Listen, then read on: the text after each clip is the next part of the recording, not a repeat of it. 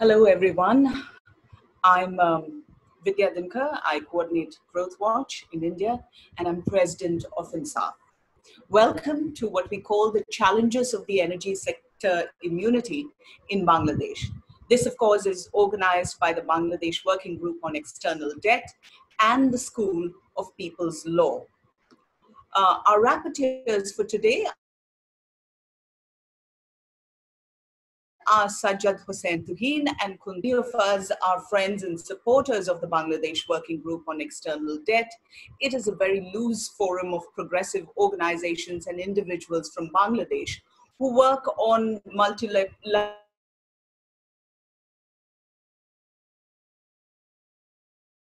and their investments, especially in energy, in large infrastructure, in natural resources, and of course, the climate crisis. The working group has 43 active members from all across the country. Uh, the BWGED is currently monitoring different projects, including the AIIB funded Bhola 225 megawatt gas power plant, the ADB um, financed Rupsha 800 megawatt LNG power plant, the JICA financed Matarbari coal power plant, the China Exim uh, financed Gandamara and Paira coal power plants, the Barisal coal power plant financed by Power China, and uh, different power plants and LNG terminals in Bangladesh financed by the IFC.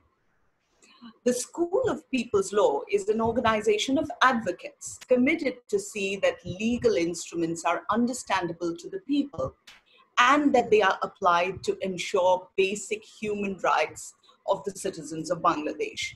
SOPL works on basic human rights, of course, environmental rights, the right to information, financial accountability, and most importantly, the freedom of speech. The Bangladesh Working Group on External Debt and SOPL um, began working together to challenge the immunity of IFI's international financial institutes over the years of journeying together and you know sitting down on addas that brought forward something fruitful both the organizations have started working on legal instruments um, of the energy sector together so um, today, of course, what are we trying to do? Um, uh, we are going to have a welcome speech by the member secretary of the Bangladesh Working Group on External Debt, um, we are then going to have keynote paper presentations of about 20 minutes each. Um, Barrister Jyotirmoy um, Barua, who's an advocate at the Supreme Court of Bangladesh, will uh, speak first. He's also a core group of the School of People's Law in Bangladesh. Our special guest is a very special one, actually. Uh, she will speak for about 15 minutes. Um, advocate Syeda Rizwana Hasan. She is a very popular and well-known um, uh, advocate of the Supreme Court of Bangladesh and executive director Bangladesh Environmental Lawyers Association, which is very musically called BELA. Um, we have another guest speaker, also an advocate of the Supreme Court of Bangladesh and member of the School of People's Law, uh, Dr. Qazi Zahed Iqbal. After which we'll open it up uh, for 30, uh, 30 minutes of uh, question and answer. And then we'll have closing remarks by Mohammad Zakir Hussain Khan, the Honorary Executive Director of Change Initiative Bangladesh. The usual housekeeping that I need to do, uh, we request you to keep your mics muted. Please turn on your mic only when you have been um, given the floor to actually speak. Um, only the three speakers and moderator are encouraged to keep their videos on. Other participants could please turn off your video cameras because it helps everyone um, focus and, um, you know, uh, if somebody's bandwidth is a little choppy, it helps. Please ask your questions here in the chat box. Chat box button is on the bottom of your screen. We will give you the mic uh, when your turn comes. Participants who are connected through Facebook, please ask your question to the specific person in uh, your comment uh, with please mention the speaker's name okay? Uh, who you're expecting the answer from. All the speakers our request to you is to keep the time in mind. The program of course um, uh, should not go on more than one and a half hours at the very most. You will get a notice when you have only one minute to finish. So I'm going to play schoolmaster on that. Um, yes. So today, um, let me introduce Barrister Jyotirmoy Barua. He's one of the prominent lawyers in the Bangladesh Supreme Court, working to protect environmental and human rights, especially the right to speech and the right to land. He has been working as one of the core members of the School of People's Law, and he is also convener of Life and Nature Safeguard Platform in Bangladesh. Uh, today, we are. Um, what are we going to talk about? Well, we're going to talk about something which has really occupied even the popular imagination in Bangladesh because everyone is tired of load shedding. Uh, everyone has been complaining about intermittent and um, power supply, how it's not uh, reliable, and everyone was just really having enough of this. So, um, today we are talking about the immunity that comes through a very important law in the um, energy atmosphere of Bangladesh. It's called the Speedy Supply of Power and Energy Special Provision Act of 2010. Amidst tremendous criticism, actually, the government enacted the Speedy Supply of Power and Energy Special Provision Act um, on October 12, 2010, for a period of two years. Uh, and then in September 2012, uh, the government extended the law for another two years, which was to expire then in October 2014. But in August 2014 itself, the extension of this Speedy Supply of Power, um, you know, Amendment Act 2014 um, for another four years came about until 2018. So that was approved, and the cabinet secretary explained to um, the whole country that the implementation of the law has proved very fruitful as it was not possible to meet the countrywide growing demand of power and energy under the traditional procurement laws and rules. Then, when we came to 2008 and it looked as if it would have run its course, in July itself, the cabinet and later the Bangladesh parliament uh, approved a further extension of the Act of 2010 for another three years. So again, the cabinet secretary briefed us. The cabinet has approved the draft Power and Energy Special Provision Amendment Bill 2018, extending the effectiveness of the law until October 2021. So we're in the midst um, where it is still in force. The Power and Energy Ministry had sought further extension of that Special Provision Act, in which indemnified officials concerned against prosecution for awarding contracts without tender until 2021. Parliament also passed the bill that sought the amendment as the construction of power plants for ensuring quick supply of power and energy in the country are yet to be completed, we were told. And so, um, Barrister Jyotirmoy Barua, since you are really, you are like a walking bridge school, um, you and your colleagues at SOPL, um, where you can bridge activists like us and uh, lawyers and the understanding of laws. So could you tell us more about uh, this act, which has been, uh, you know, extended time and again by the government, and why? Thank you, Vidya. You have given a really vivid um, picture of the background of the law and what sort of role it is basically playing. Um, I'm not going to go into those background details any further because uh, whatever you explained is basically clear enough um, to understand what is happening. And uh, I'm just going to take you through um, certain provisions of the law to give you a better understanding of the wording they use in the actual law. I have shared the English version of the law with Mehedi, um, you can get access to that particular uh, English version of the law from him if you um, are interested in. I'm just going to give you a, a, um, a, the preamble of the law gives certain background, a small paragraph, uh, if you allow me to read it. It is an act to make special provisions for facilitating effective and urgent matters to enhance the generation, transmission, transportation, and marketing of electricity and energy with a view to ensuring uninterrupted supply of electricity and energy, keeping pace with the demands of agricultural, industrial, commercial, and domestic activities, and for quick implementation of the plan to import electricity and energy from abroad, if necessary, and for implementation of the decisions on urgent extraction and utilization of minerals related to energy. That is, that is the law says in the preamble that why they are enacting this law in 2010. As you know, we had our um, energy master plan in 2010. As part of that uh, master plan, they have enacted this law. Um, section, I'm going to go through only four to five sections very quickly. Um, on uh, section 3 of the act, it says uh, non-obstante clause, you know, the overriding principle of the law that uh, this present law shall prevail over any other previous law.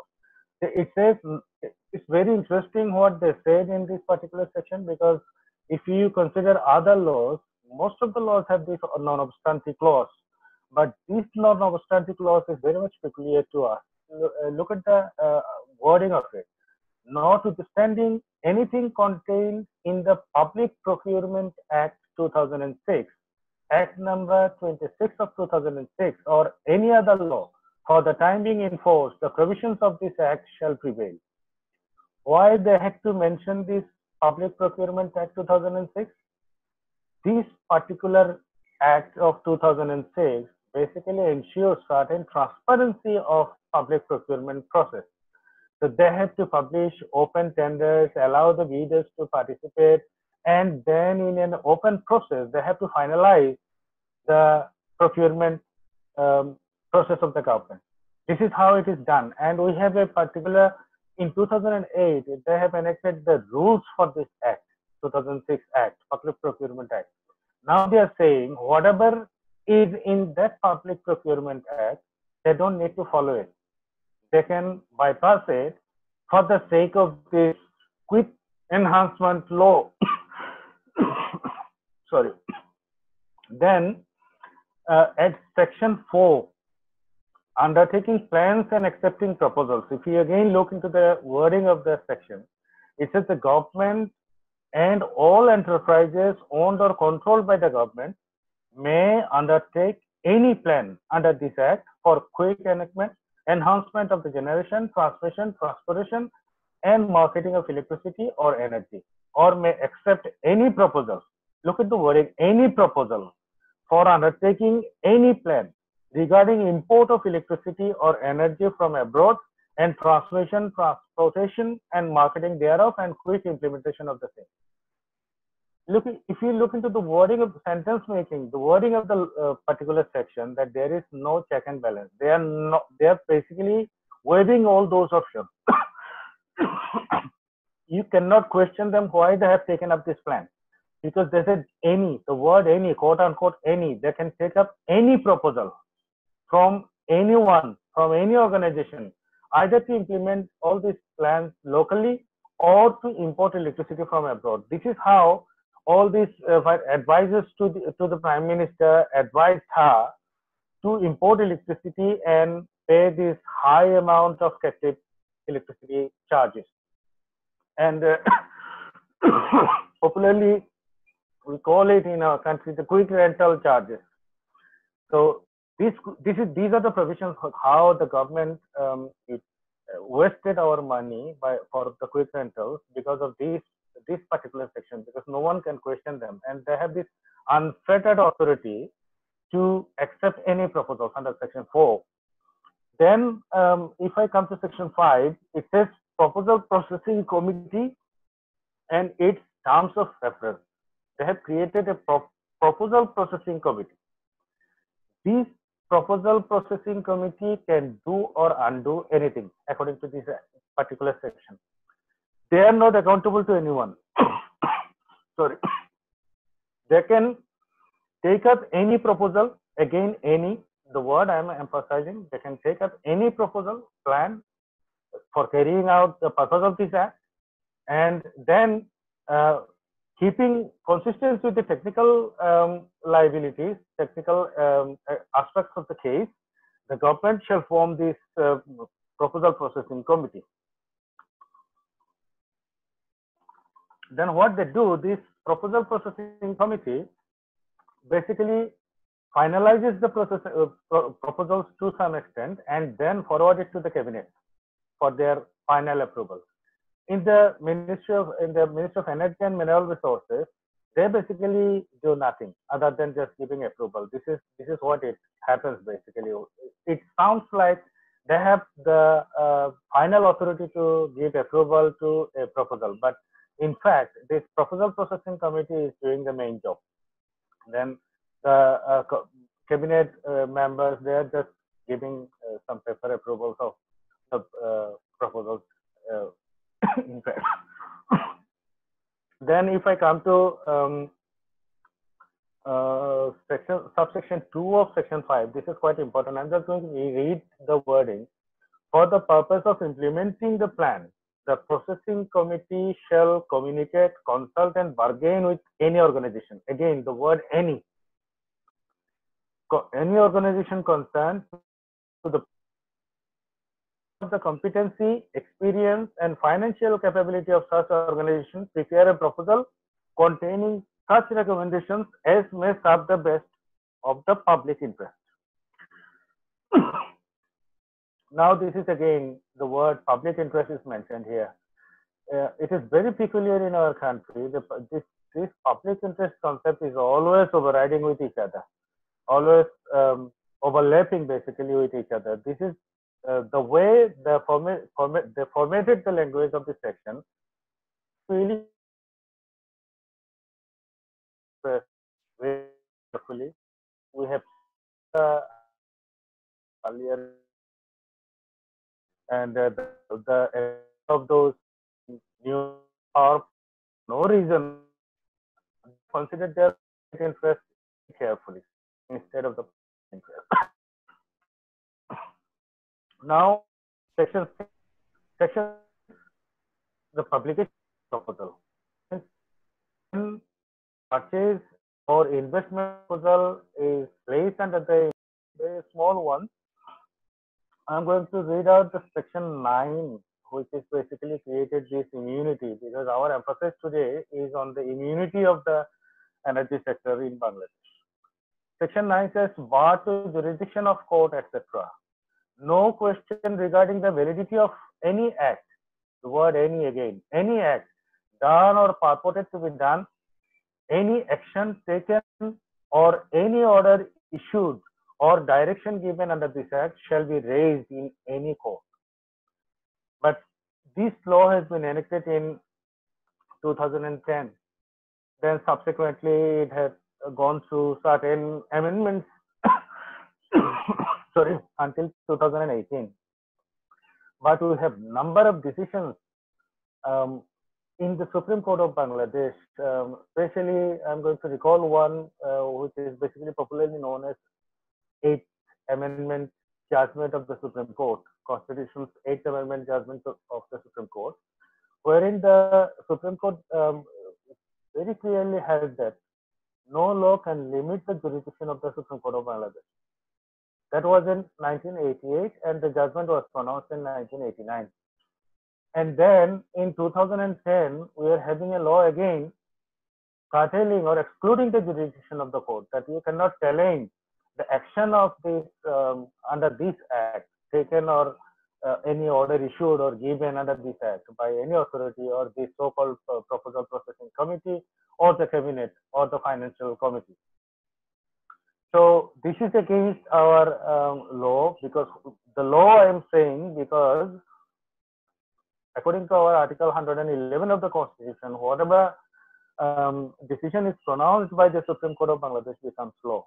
So that is the understanding of law, the sources of law as well.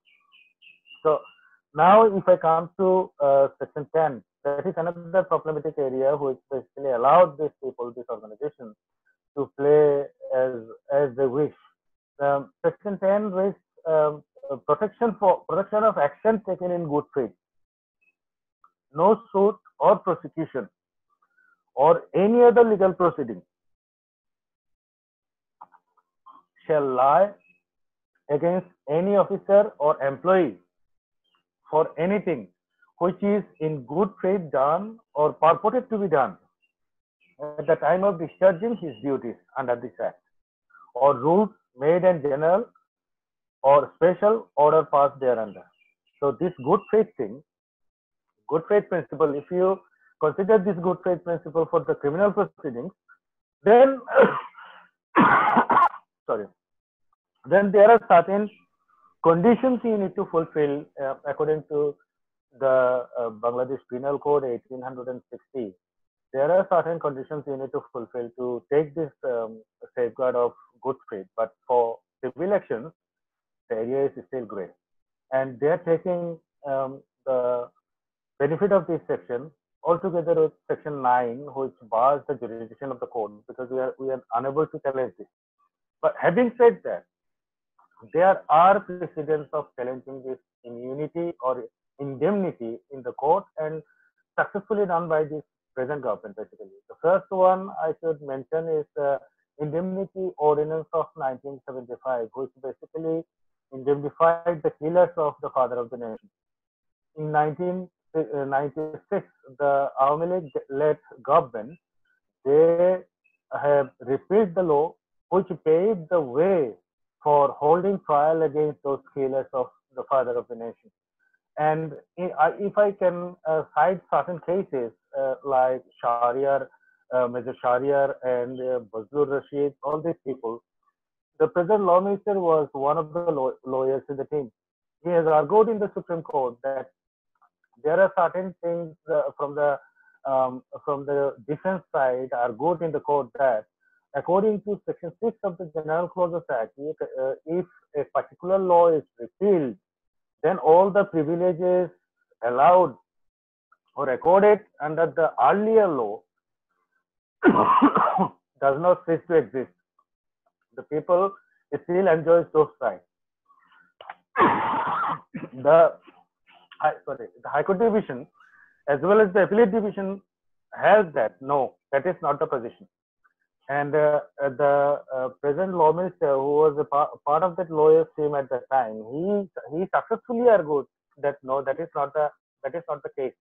Section six of the General Clauses Act does not really apply in this case, and uh, um, they are they are liable for their actions. And similar actions we have seen in um, in the uh, Eighth Amendment case. Uh, Supreme Court categorically um, uh, defined the position of the uh, Bangladesh uh, jurisdiction on this particular point.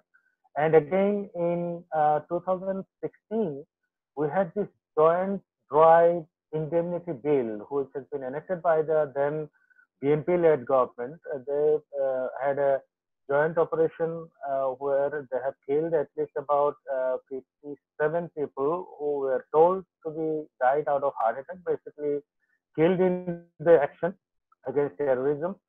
And uh, a large number of people were injured. Over 12,000 people were imprisoned at that time during 2002 and 2003.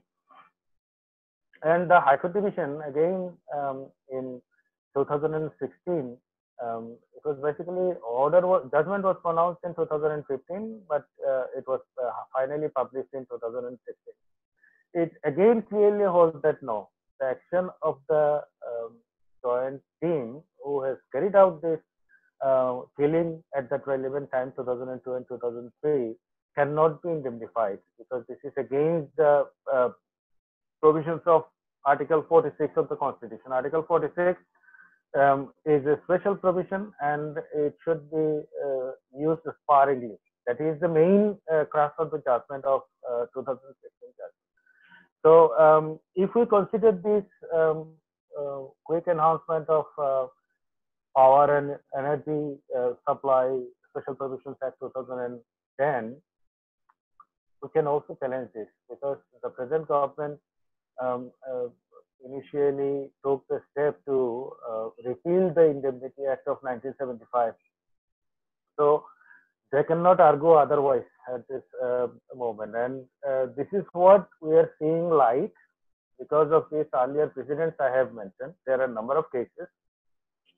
We can um, we can successfully challenge this. I hope so. And uh, with the Bangladesh Working Group and uh, um, this um, School of uh, People's Law, we are working together on this, and uh, hopefully with the help of all other friends, so um, together we can challenge this in the court. And I can see light.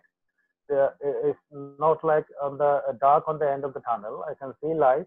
Uh, if we work really hard if we press it really hard, if the normal court uh, situation uh, resumes to work again uh, like before, we can uh, hopefully challenge this in the court. So I'll I'll rest my initial response here. I'll, I'll be happy to answer any questions later on. Thank you, Barrister um, really uh, we must sort of acknowledge the kind of untiring communication effort he's put in because he's recovering from a respiratory distress, um, uh, you know, um, uh, a bout of respiratory distress. Um, as is our next speaker. And while um, Barrister Barua has given us the sections and then sort of connected it so uh, beautifully by mentioning cases that we have read in the newspaper that has an emotional connect to us, and therefore we can see that this is really doable.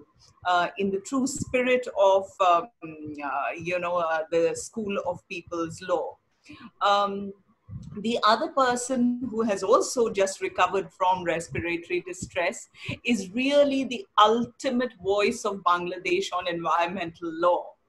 Uh, she is a star advocate in the Supreme Court of Bangladesh, and we're very happy to welcome her onto our um, seminar today. Uh, she's been working as the chief executive of Bangladesh Environmental Lawyers Association, BELA. Her work uh, was recognized and uh, she was awarded the Goldman Environmental Prize in 2009, as also the Ramon Magsaysay Award in 2012 for her uncompromising courage and impassioned leadership in a campaign of judicial activism in Bangladesh that affirms the people's right to a good environment as nothing less than their right to dignity and life. This is what the award read as. Her organization, BELA, has received several international awards, including most recently the Tang Prize 2020 in the category Rule of Law. We're very proud and extremely fortunate um, that advocate Syeda Rizwana Hasan is with us. Ma'am, the floor is yours. Thank you very much, Vidya. Uh, in Bangladesh, we actually uh, call people Apa or call them by name to uh, give them a level of comfort. If you call me Madam, I'll feel as if I'm elevated to a level from which I'll not be able to communicate with you. You are elevated, but you are still our Apa. Yes. call me by name. I, am known as Rizwana. See, I didn't know it's going to be such a uh, you know organized uh, discussion so i haven't really prepared anything. I've just got my pen here and my diary. I've just uh, noted down a few things. I don't know if you really want to get into a very legal discussion on this because i agree with whatever uh, jyotirmoy has said about making the government and the corporation accountable but there is a political dimension to it i would like to tell you that we are living in an era now in Bangladesh, in a particular phase in Bangladesh where our democracy has been very badly defeated. You can still think of people's protest in India, but I don't think we can think of um, a mass gathering of 200 people protesting against a power plant. If we do, yes, there have been incidents. So there was an incident back in 2004, I don't remember the exact year, where people of a given uh, area of Bangladesh protested against the government's plan to go for open mining of coal. And the protest was so powerful that the government from Dhaka had to send special envoy to that local area pacify people tell them that no we are not going to go for open pit mining and they had to sign an agreement. It was so forceful that even after so many years, the government hasn't been able to finalize its coal policy because it wants to finalize the coal policy, but it wants to keep provision for export there. It wants to keep provision of open pit mining in it. And that is just not becoming possible because of what the government faced there. But then 10 years, 12 years down the road, when people protest against having coal-based power plant in, in a place very close to Sundarbans, and a project that is posing definite risks to the uh, largest mangrove forest of the world, the government has shown the strength. You know, a professor of the university, Professor Anu Muhammad, who is basically leading the um, campaigns, he was brutally beaten up by the police to an extent that his legs were broken. He had to be hospitalized. And the next day, we saw the ministers going to see him. So you see, if you want to consider or kind of capture the entire governance picture here in Bangladesh, this is actually very clumsy. There is no particular rhythm or particular tone that it's following. So one day your police is beating him up. What would Professor Anu Muhammad do? Does he have the ability to set fire in a public transportation?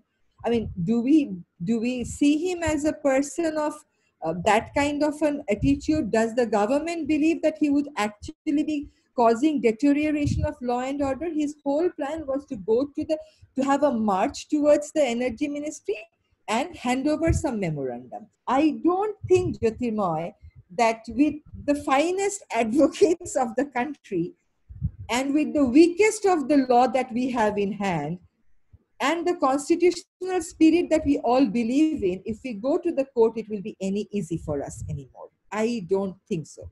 We have not us, but other groups have their, have tried their luck with the Rampal power plant, and Rampal power plant is criticized not only by people like Anu Muhammad or you and me. It has been criticized by UNESCO. The government, on the face of UNESCO uh, criticism, has said that they are abandoning the second phase of the Rampal power plant, but they're sticking to the first one because the government thinks it will be a political defeat for them again. After the Asia Energy defeat in Dinajpur, if they accept this defeat, they'll never be able to, you know, implement any coal-based plant. So they, there are other political dimensions to it. It's not only a Bangladesh project; it's a Bangladesh-India project. So when the negotiation takes place in UNESCO, it's not only Bangladesh throwing its political weightage, it is also India coming in. It's also China coming in because China has interest in another coal-based power plant nearby and they'll be using the same river route. It is the Bangladesh, India, China political power that is not allowing the political decision-making platform of UNESCO to say no to it. But the scientific platform of it led by IUCN has already said no to it. So you see, I don't think we will have much luck in the High Court nowadays if you, if you want to challenge the um, you know uh, uh, the the propositions of the government of, in, of Bangladesh in the coal policy about developing the ability of the national sector uh, in in dealing with coal uh, or about the, the, the proposal of the government to still export the coal when the national demand will also will not be met. I mean, if you if you take a long-term scenario, the coal that we have in hand, if we extract all of it, that will not uh, you know meet our demand after a given uh, phase. And now you have the whole climate debate in the scene, whether to uh, at all ask for capacity building of the national institutions for, for coal or to say completely no to coal and switch to renewable for which Bangladesh has excellent prospect. So coming back to the to the whole issue of so so you can't you can't uh, we, you can't really separate the energy immunity from the total governance picture from the entire uh, picture of democracy when you don't have a government which is uh, I mean, in all respect, elected. Yes, yes, there was an election. I don't deny that, but there were hardly any voters, and a very um, minimum um, percentage of voters uh, votes have been counted. I mean, these are all public documents. Asking for accountability for that sort of a government, is an extra challenge. When your democracy functions, even, even the weakest form of democracy uh, has some empowering element for the people, for civil society movements. But uh, with this form of a democracy, it's extra challenging.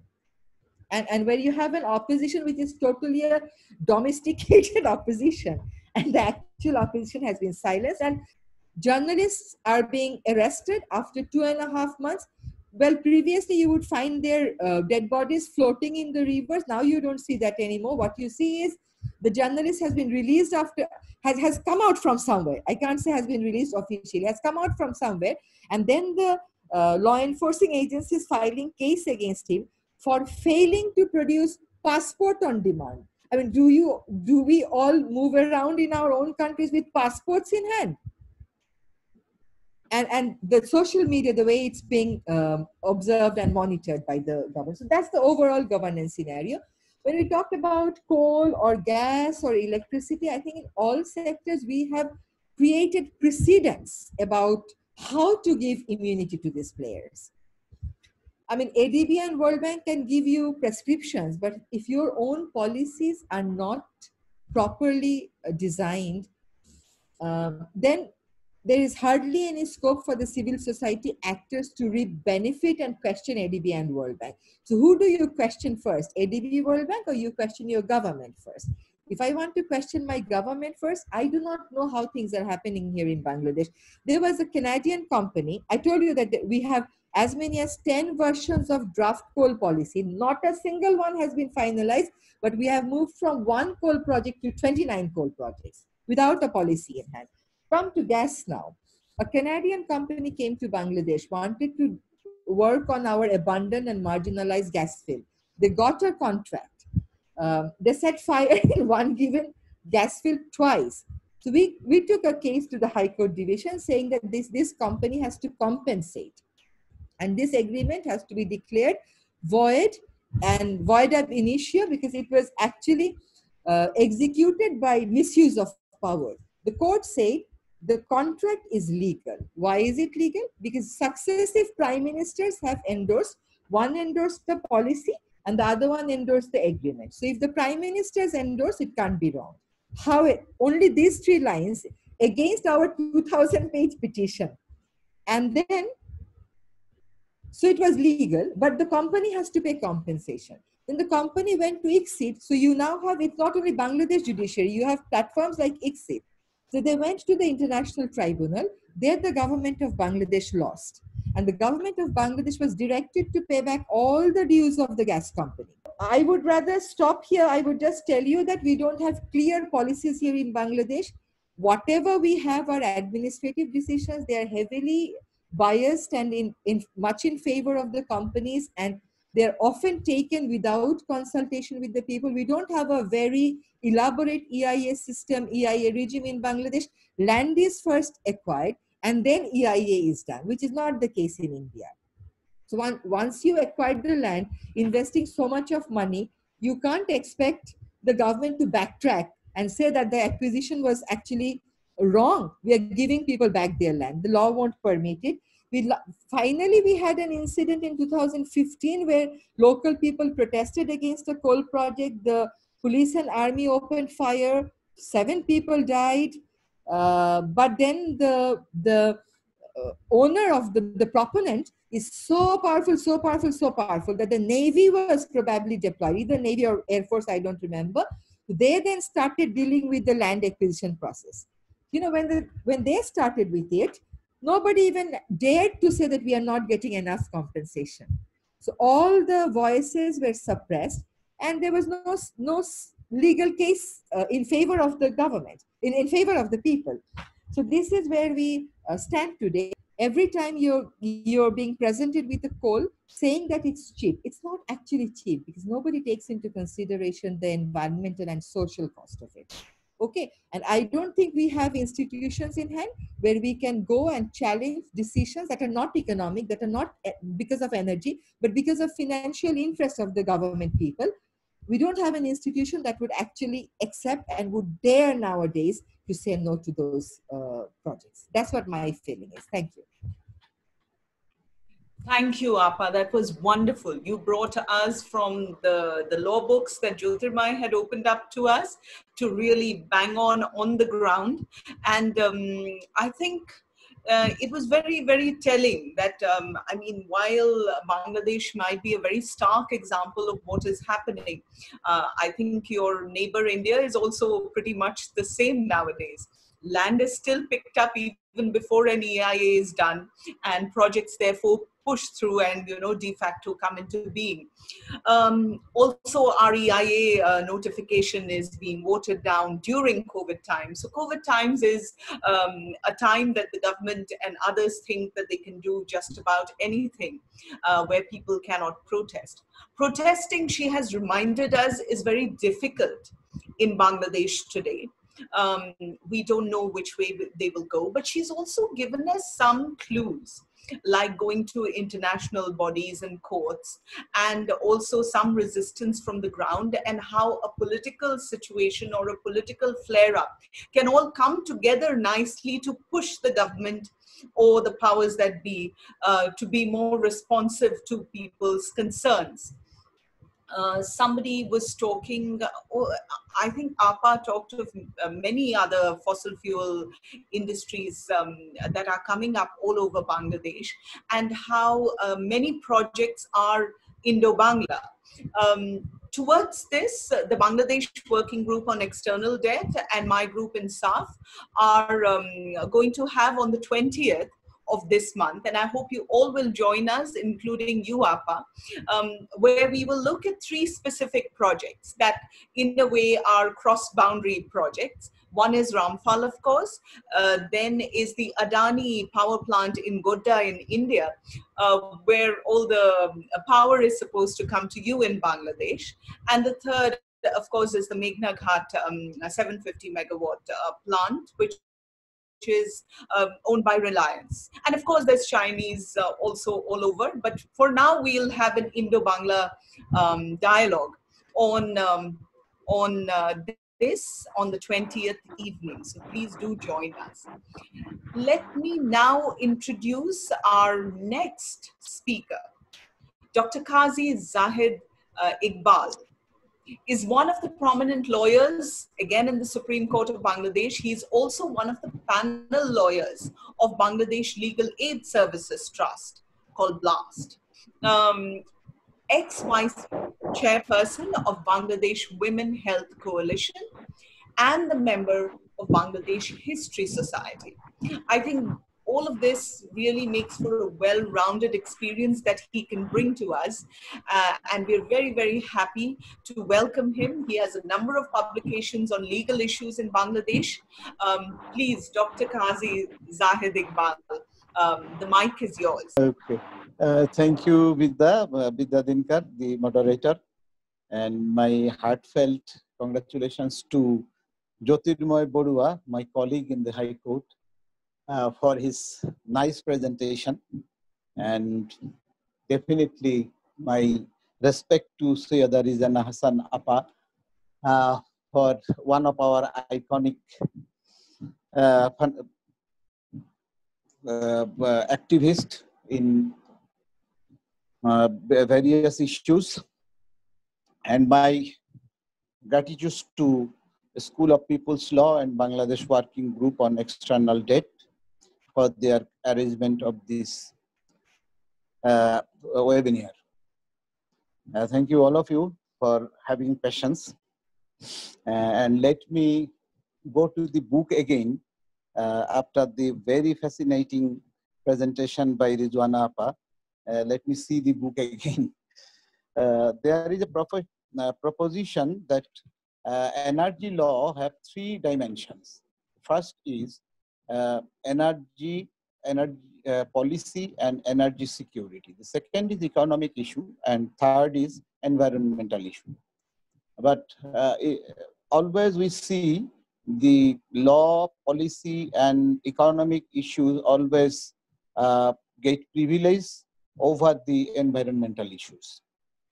To enhance the energy security and economy, the law uh, takes its position in favor of the energy related uh, technology instead of uh, environment. In Bangladesh, there is an uh, culture of the, uh, in Bangladesh there is an uh, energy policy which has been uh, revised and changed time to time.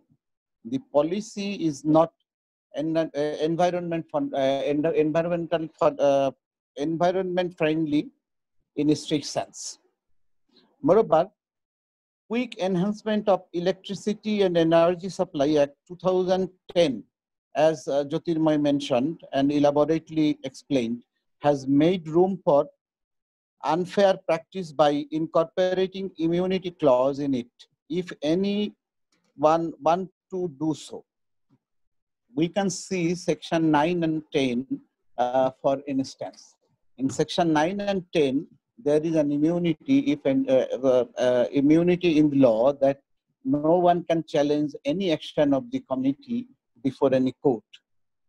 The, uh, we can mention here that the immunity culture is not new in Bangladesh. Constitution also made room for it. Article 46, in for instance, we can see that uh, the room for immunity in, uh, has been mentioned in the constitution. But in practical aspects, corruption is not at all immune under the Act. There are also instances of strike down the immunity by the court, as mentioned by the Jyotirmoy Barua already. So still there is a scope to challenge the immunity if there is any allegation uh, to the uh, of corruption uh, in the process. Any kind of immunity clause in any law is a violation of fundamental principle of the constitutional spirit. I have the opinion that immunity, the uh, that the there is always a scope for challenge any law containing any section ultra vires to the constitutional spirit. Every stakeholder should keep an eye on on the uh, law uh, on such type of law. Uh, and now finally I, I can mention about the quick rental issue.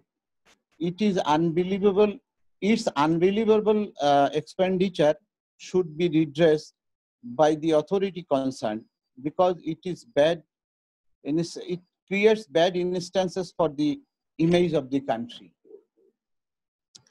Uh, Actually, uh, has already mentioned all the things and uh, subsequently APA uh, already uh, elaborately explained from the uh, political perspective, leaving a little room for me to uh, say more something, um, add more something about the law.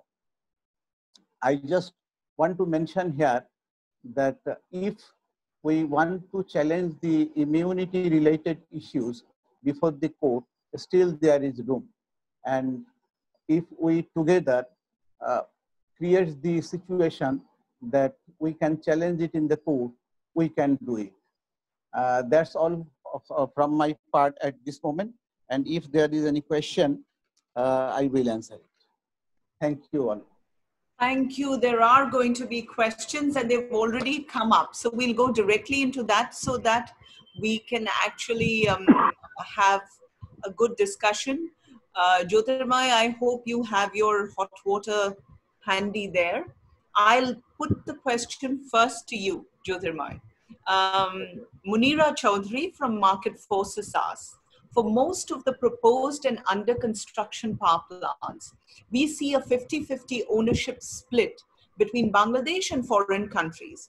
However, there are exceptions like the Barisal uh, coal plant, which has only 4% ownership by Bangladeshi, by a Bangladeshi company and 96% foreign ownership. Is there a law or provisions to what percentage ownership a, a foreign corporation can have in a power plant in Bangladesh? That is a specific question. Would you take it up, Barrister? Yes, sure. Uh, there is no such law basic uh, in, in place in our country at the moment. Um, as I mentioned earlier in our 2010 law, it allows you to quote unquote the word any, any proposal. That gives you the wide area unfettered power to decide whatever you want. And the other thing I should mention here is if you look into our constitution, there are certain characteristics of our constitution and full of contradictions. Though as a practitioner, I am supposed to uphold this constitution all the time, respect, show some sort of respect all the time. But when when I'm um, criticizing these laws or doing some sort of research, I I find it quite quite dubious sometimes that it does not give you adequate protection other than creating obstacles to ensure uh, public rights. Say, for example, if you look into Article 8.2, sub Article 2 of the Constitution, Part 2 of the Constitution basically have all the state fundamental state policies.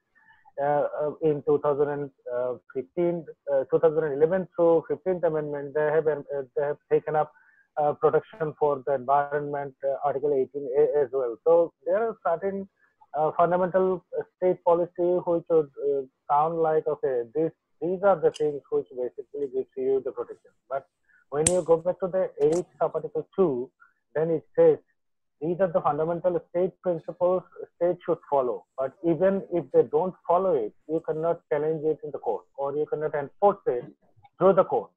That means these fundamental policies gives the government a really long way forward to do whatever they want. Now, the implication of this in reality is that whenever government takes up the policy, that if that policy is inconsistent with the part 2 of the constitution, you cannot enforce it because of this article 8.2 of the constitution.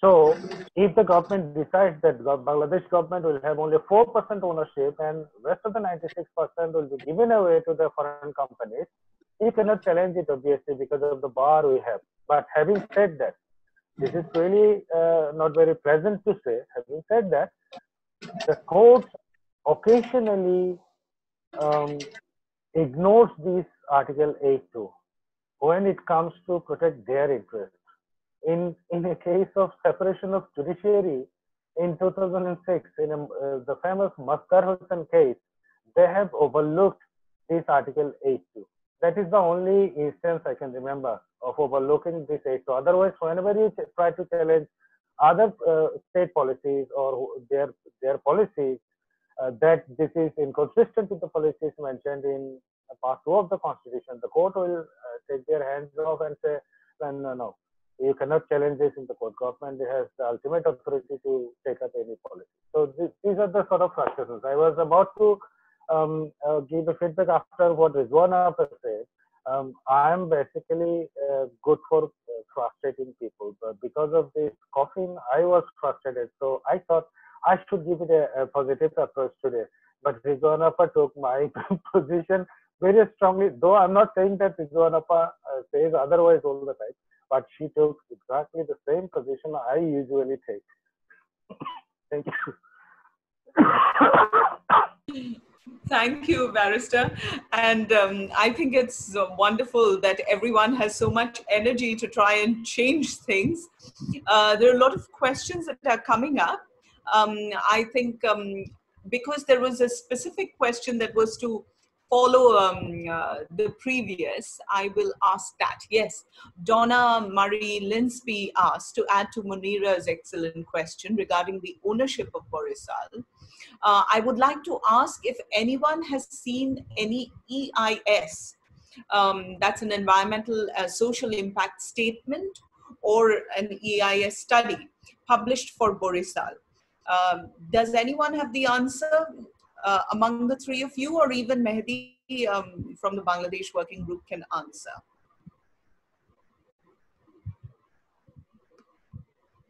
Okay, uh, Rizwanapa maybe uh, uh, focus more on that because Bela uh, already uh, submitted a petition to get a EIA report of a power project and uh, the, the ministry said that yeah and they said that uh, we can we can't give you the um, uh, EIA report because you can use it for subversive activities for the state Uh, we we tried to get uh, ESIA report of Barishal power plant, which is Isotech and uh, mm, Power China. It's a consortium where Isotech is only four owner of only four percent, but we, we, we couldn't find it till now. We are trying, uh, and uh, I don't know what should be answered.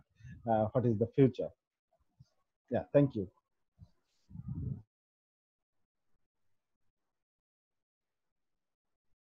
Sorry, I was on mute. Uh, Uh, Vidya, Another. Vidya, the, can I answer that? Yes, yes, please, please add to it.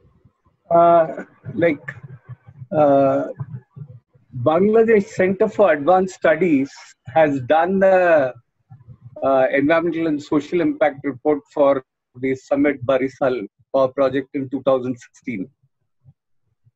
If somebody is interested, I can share a copy of that. Uh, think sorry, somewhere sorry, uh, Dada, is ma- ma- uh, I'm I'm telling in the middle.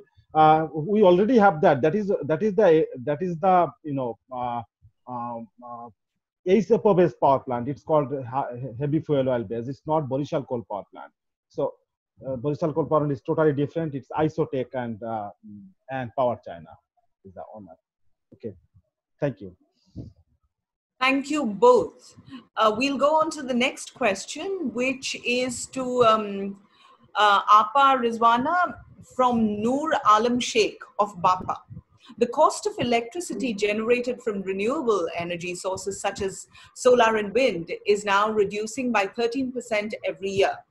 So, can the Bangladesh government turn the Sundarbans destructive Rampal power station into a renewable power plant if it wants to at the moment?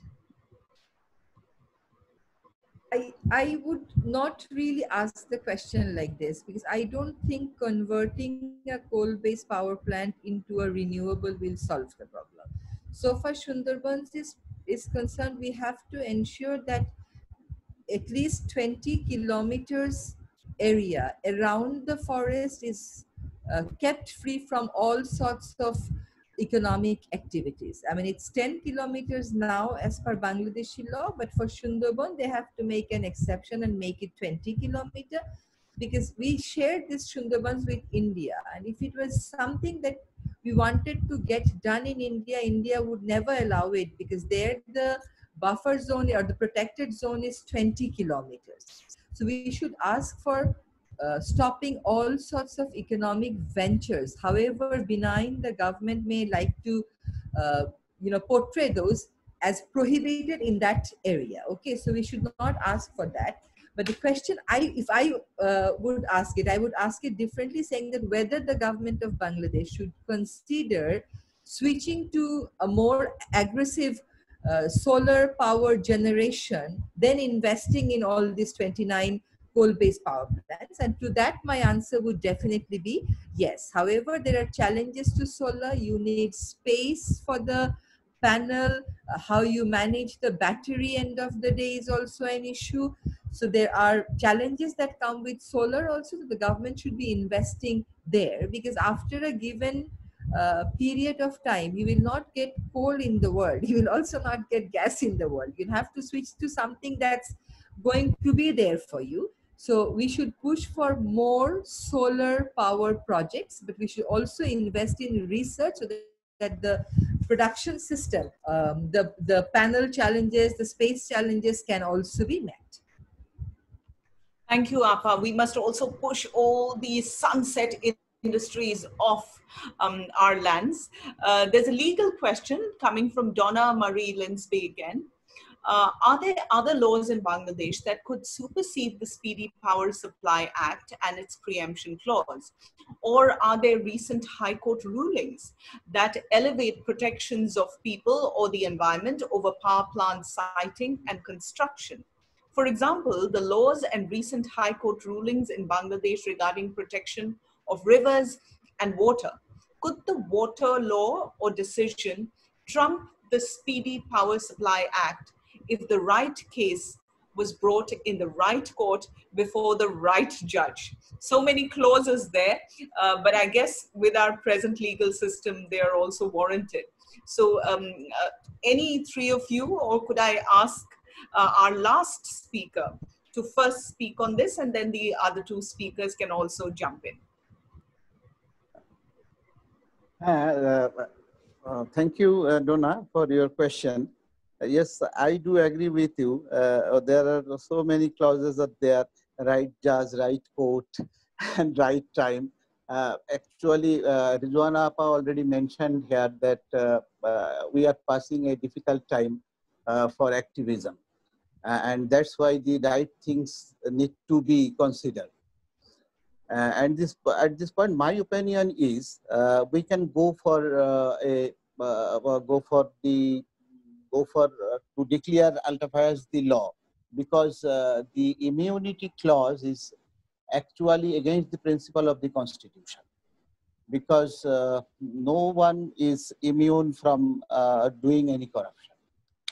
So um, uh, we can consider for a suit or for a writ to uh, uh, do to to to strike down the uh, clause from the law. And and I have already said here that we have a culture of immunity in this country, and our constitution also make room for the immunity uh, under the article 46 of the constitution so there is a culture of immunity though there is a culture of immunity but uh, we can challenge this law uh, uh, in an appropriate bench, in an appropriate before a, an appropriate judge for a strike down it because it is against the principle of the constitution.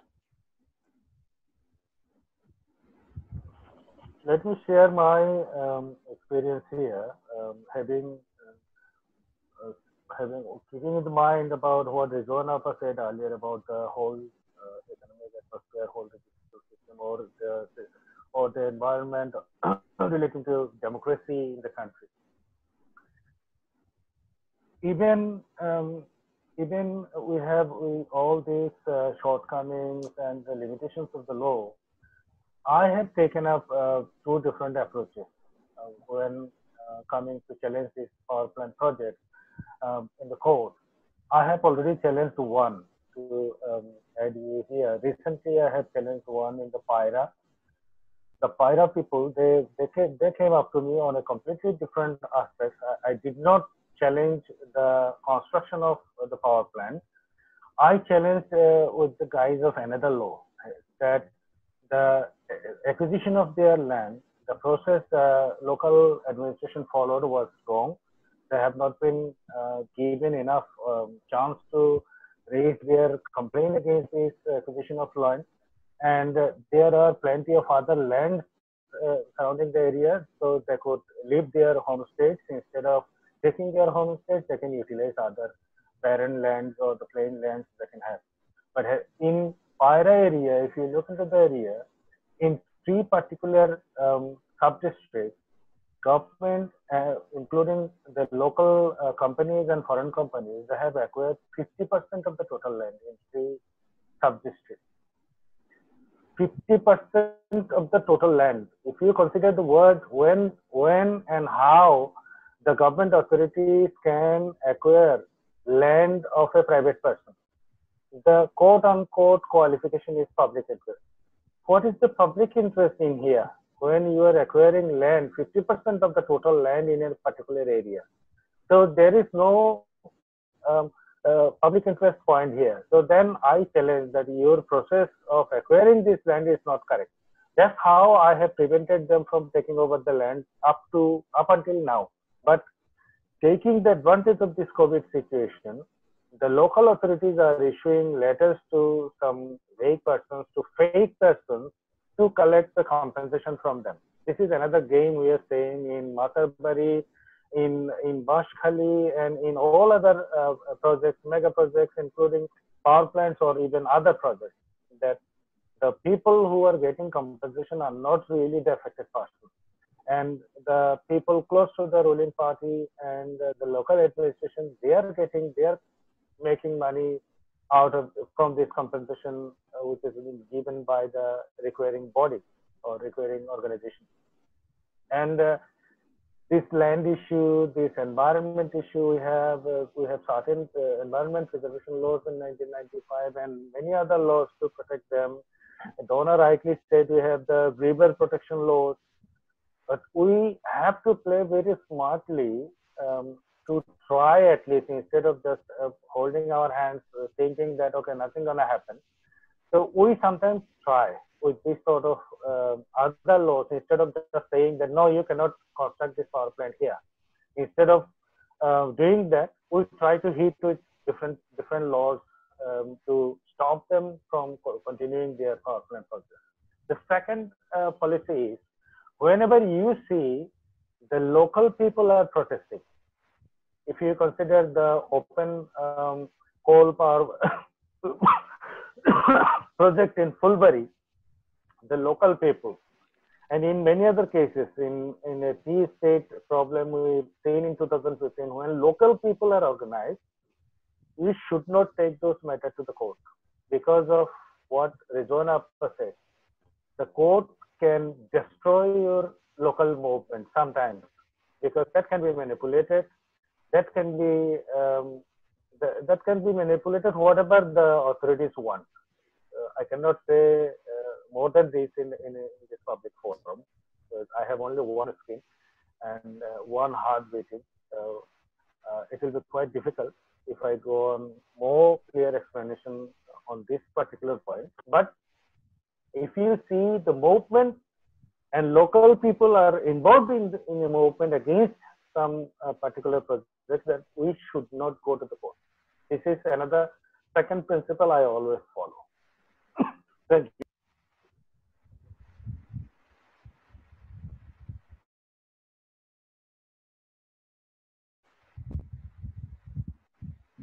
that's an important thing that all of us need to keep in mind i think when there is a strong movement on the ground don't knock the um, the court's door uh, unless there's no other option um, rizwana appa do you want to um, add on to that or there is another question that i can put to you or actually the person who asked the question can put it to you directly joyce tan of client earth do you want to put your question directly to uh, rizwana appa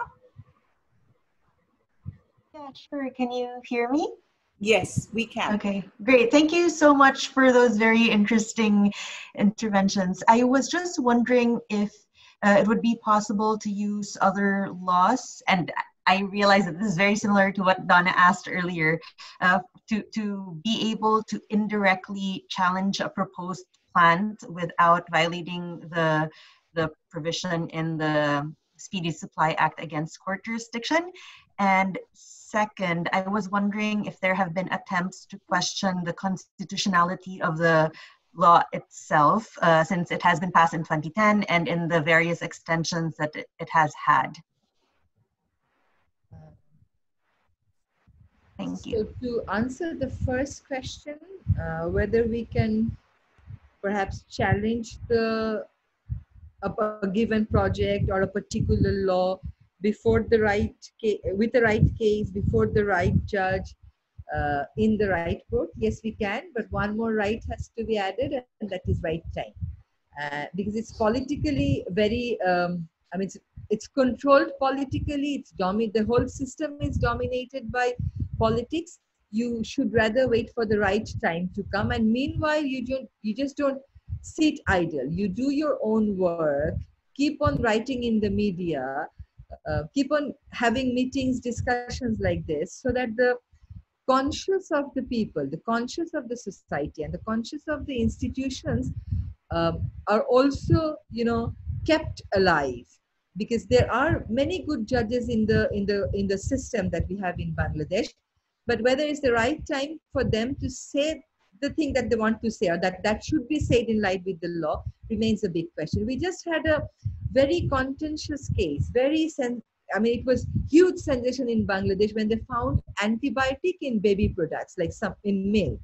So one judge asked for reports uh, from government agencies. They gave reports, and all the reports actually said that the farm that the farms that are producing these milks are using antibiotic for feeding the animals, and that's why they're getting the antibiotic in the milk. And the judge came up with a very good decision a very good order but the judge next day his bench was changed. You know his power was changed. So uh, you know it probably takes a lot of guts nowadays for the judges more than litigants like us. But you can always challenge the constitutionality of this uh, act and you could always challenge the projects on environmental grounds but I just want to clarify my um, point again with another example, if time permits. It is about the Rampal power plant where local people went to the court um, and the court actually gave an injunction order against acquisition of land. But then it was a time when probably Manmohan Singh was coming to Bangladesh. I don't remember. I think it was Manmohan Singh, no, because Narendra Modi, I don't remember making it to Bangladesh. So, so Manmohan Singh when, was coming to Bangladesh. So the Attorney General of Bangladesh went before the court and he said, "My Lord, um, the, the the Prime Minister of uh, India is coming." So we have to get this injunction vacated, otherwise we can't get the agreement signed. And then the injunction did not continue anymore.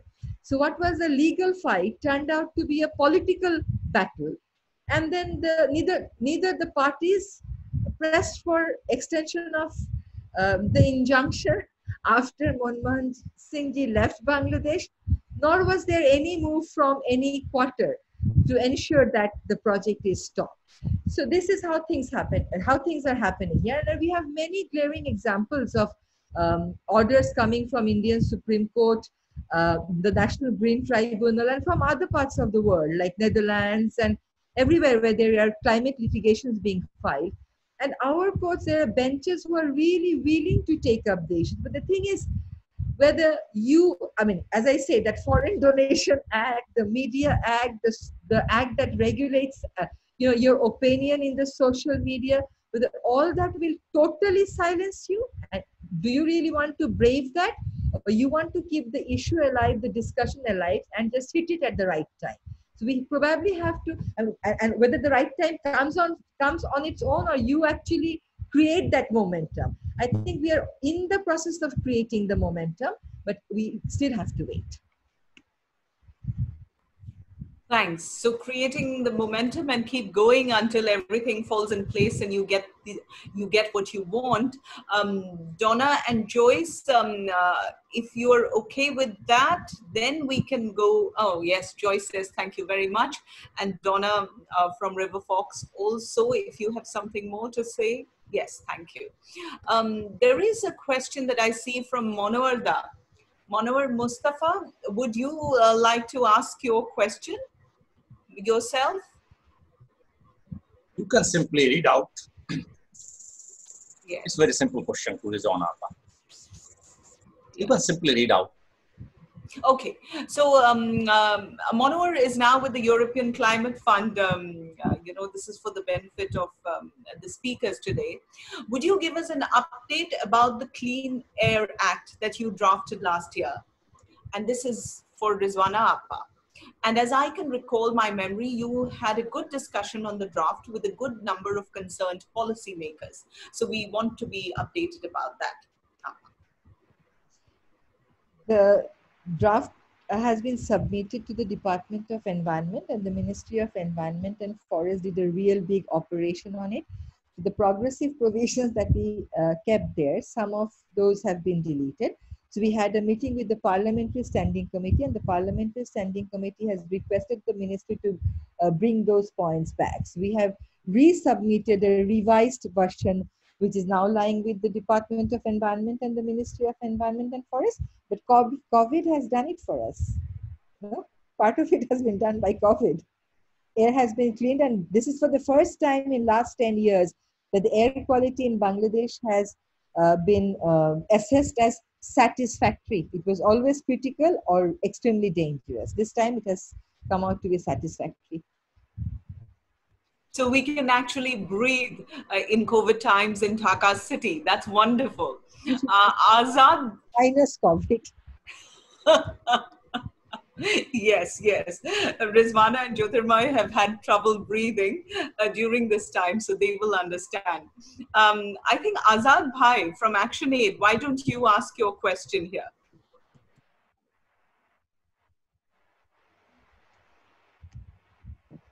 Hello, do you hear me? Uh, my question is simple. I think uh, the law, uh, quick uh, enhancement of electricity and energy supply Act 2010, and the basis of the law is to increase power supply in our country because of the shortage of power. But in this COVID time, power demand actually uh, drastically uh, fall down, drastically decrease. So I think this is the time to challenge the law according to basis of the law. So what uh, uh, what panels think think about this issue? Can we proceed to challenge the law in immediate? So thank you. You followed the um, question. Yes. If I may intervene, you followed the question about right time, right court, right judge, right case. you have to keep that in mind. this time you don't even have a court to approach. The, the, the courts that are operating now during the COVID phase, the virtual ones won't take up such complicated uh, issues at the moment. But we must always keep this in mind that this is the law that needs to be challenged. We will challenge it. We are prepared with our arguments, and the more time is passing, our arguments are gaining more strength. They're gaining, they're getting stronger because realities are supporting us. You know, previously it was only our analysis. Now the examples are also supporting our arguments. But we have to wait for the right time. So we'll keep at it. And uh, Qazi Zahed, Iqbal, Iqbal, do you want to uh, come in on that, on Azad's uh, question? Uh, just, just, just one sentence, uh, uh, supplement with the APA. that is, if we don't go for the um, whole law, at least two section of the law is needed to be challenged. That is section 9 and 10, which um, tells about the immunity uh, immunity should not be there. Immunity should not be there. And this immunity uh, creates room for the corruption. And that is the bad point of the law. Absolutely. Um, nothing and nobody can support immunity, uh, even by government officials or the government itself. Um, we are coming uh, to the last five minutes, and therefore I think we should do um, what we planned, which is the winding down. And you know what I did? I completely forgot to get ourselves welcomed here. Um, oh, Donna has something. Uh, do you want to say what you're saying? And Ashok Chaudhary says very informative and interesting discussion. Um, Donna, do you want to um, say out what you have just typed? Yes. Thank you. Can you hear me? Yes, very clearly. Yes. Rizwana Appa, so nice to see you again. Um, I have a question for you. I very much understand, appreciate, and agree with your analysis that the political realities need to be taken into account. Here's my question for you. Recently, we saw on a CBD uh, video the power minister, Nasrul Hamid, suggesting that perhaps they may limit coal power to 5,000 megawatts, which would mean basically limiting coal power to four coal plants Bora Pucuria, which is already operational, Rampal, under construction, phase one, Payra phase one, already online almost, and Matarbari phase one. Do you think that might be a signal that perhaps the political realities or winds may be shifting specifically with regard to coal power only? And perhaps that might mean some kind of legal challenge could be brought in the next year or so? In other words, is the political timing approaching a better circumstance than we've seen in the past? To be, should I? To be brief on that, you see, this is the result of the continuous hammering that we kept on doing despite all the challenges that were put forward. So they're now thinking of limiting, but they haven't really abandoned uh, I think it is a time when you can take the discussion at a different level with the politicians, but I won't still say that this is the right time to go to the court with um, a case that we are uh, thinking about because in case we are turned down because you see the the bad elements they don't really die out. And they're very organized much more organized than we are. So i want personally speaking i want brave uh, to take a case now before the court but i would definitely see the opportunity to take the discussion at a different level with the political high ups legally i will still wait. Zahed Iqbal, do you want to come in or Jyotirmoyda? No, uh, I don't have any comment. Uh, Appa rightly explained the things. Yes.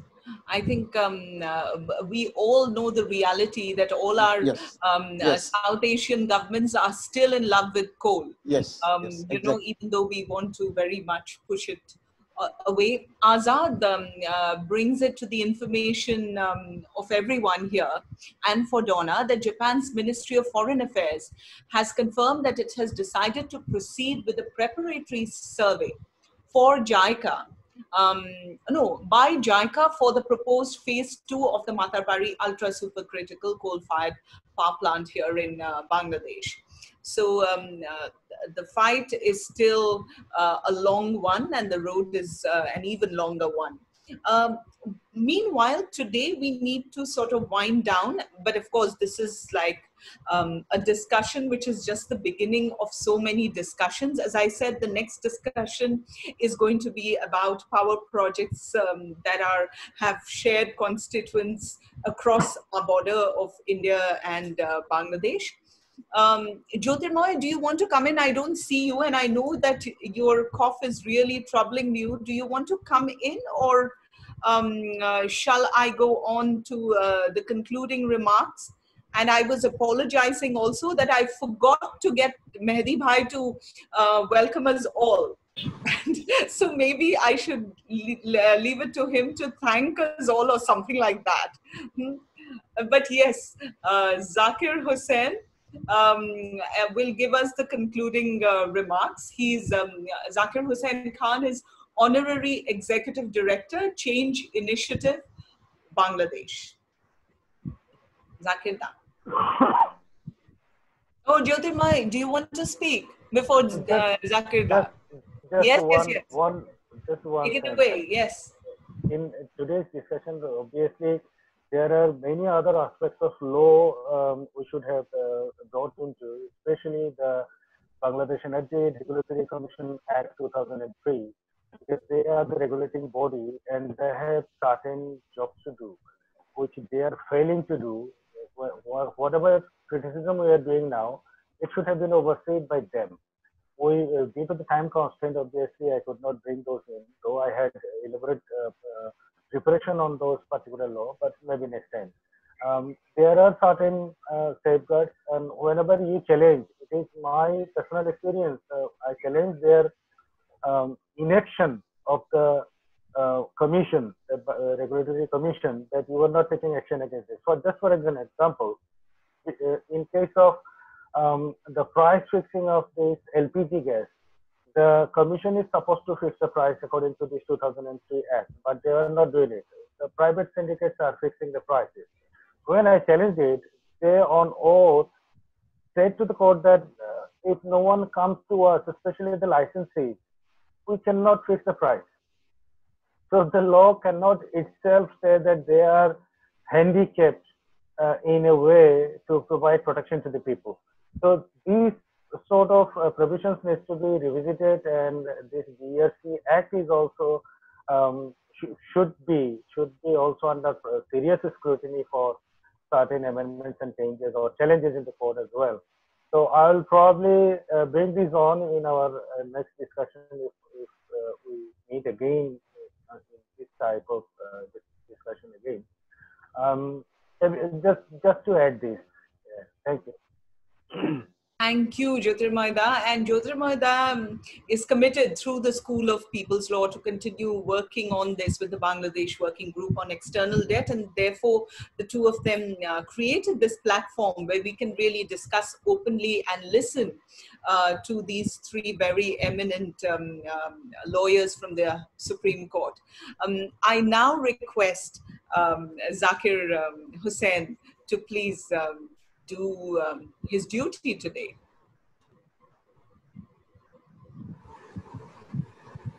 Uh, thank you very much, uh, Vidya, uh, for excellent, uh, you know, uh, this uh, moderation. As usual, we lovely moderation we always enjoy.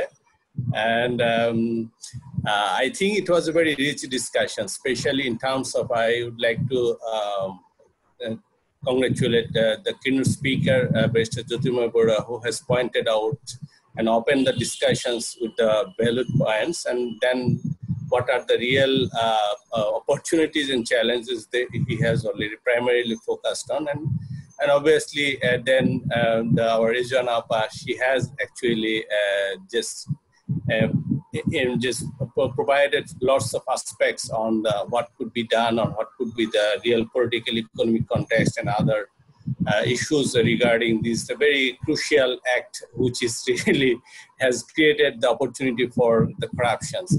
And i, I really appreciate her very in-depth analysis. And finally dr. Zahed iqbal uh, he has very precisely pointed out what could be the entry point and what could be the real uh, opportunity for us uh, to go proceed on. I believe that these discussions will uh, uh provide the next pathway to proceed to, uh, together and what could be the real uh, opportunity for on that.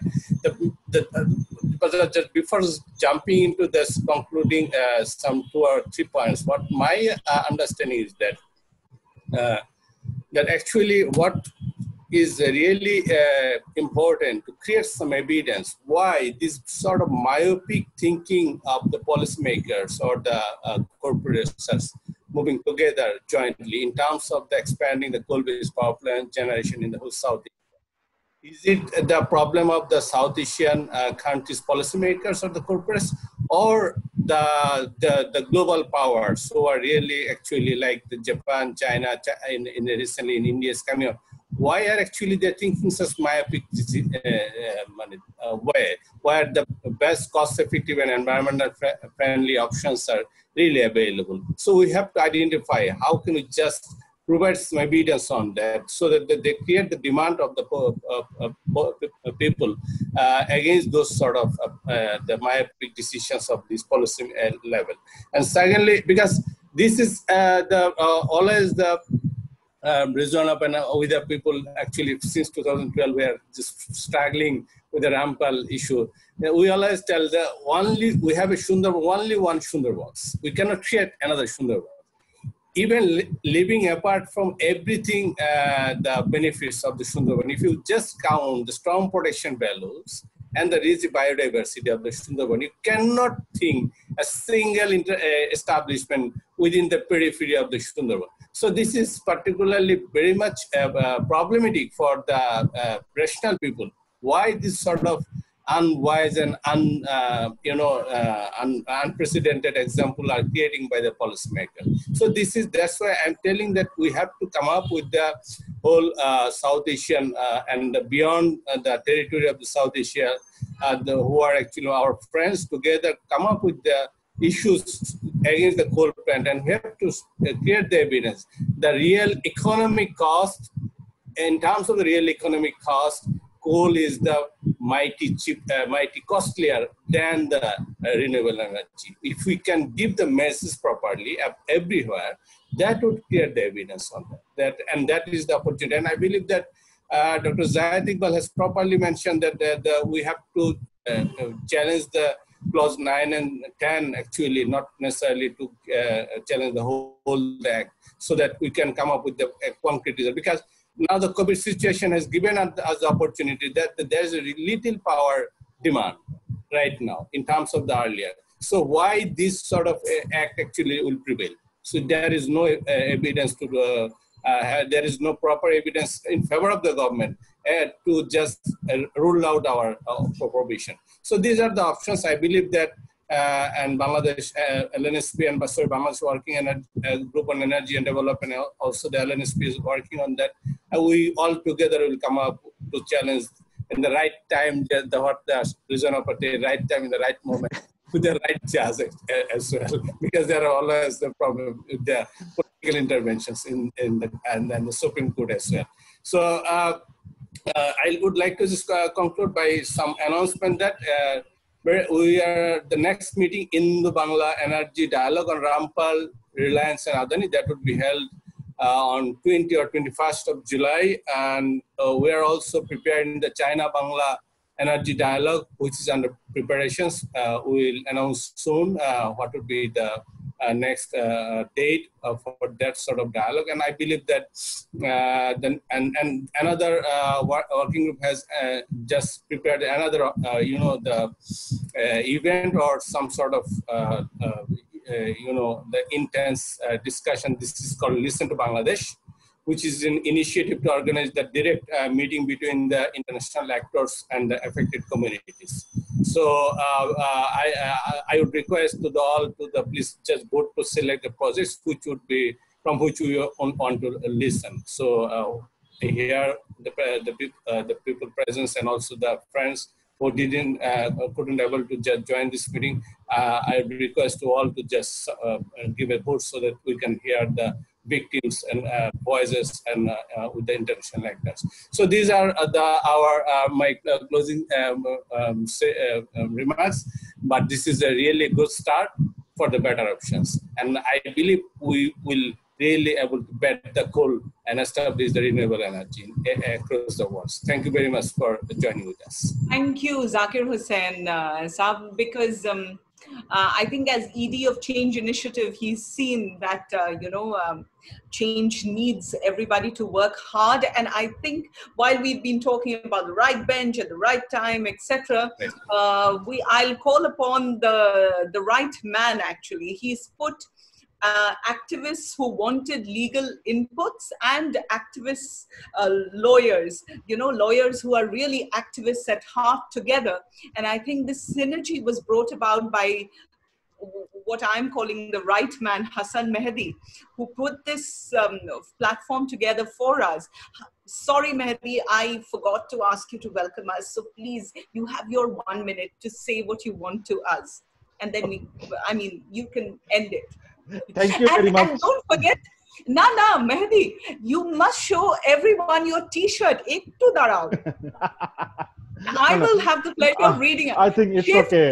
ass from oil, coal, coal and gas. It says. I think. Okay, Mehedi.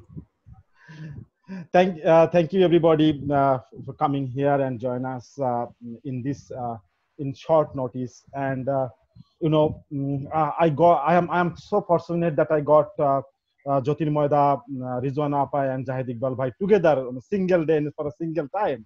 And so it's it's the right time, right place, and right person. Yeah.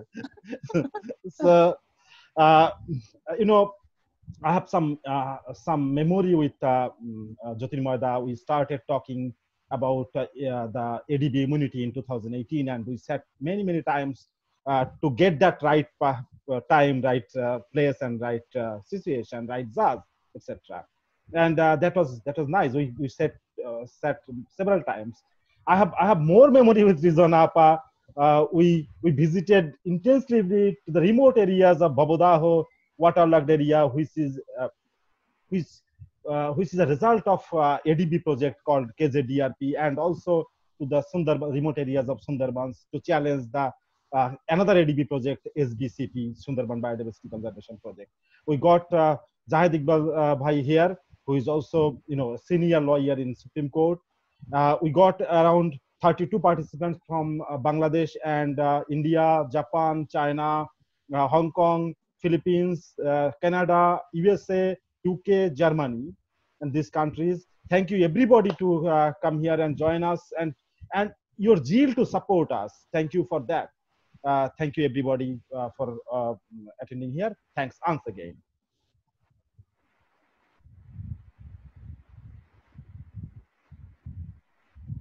Bye bye, all. Thank you again. Um, and hope to see you again very soon.